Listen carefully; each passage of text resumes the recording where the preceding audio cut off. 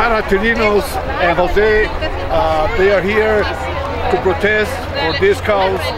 What you could tell us? I can't believe what is going on in Venezuela. Uh, I'm married to a Venezuelan and from the United States, and, and I just can't believe the, the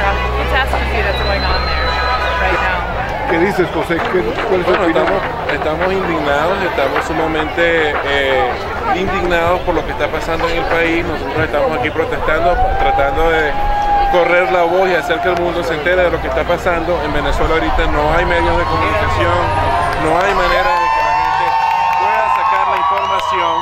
Sin embargo, Twitter, Facebook, la social media, eso es lo que estamos utilizando, estas manifestaciones hoy en todo el mundo. Estamos tratando de correr la voz de lo que está pasando en Venezuela. Eh, no es más que una dictadura. eh, ya, ya el gobierno de Maduro se quitó la careta que tenía de democracia con los, los hechos que han ocurrido en los últimos 15 días.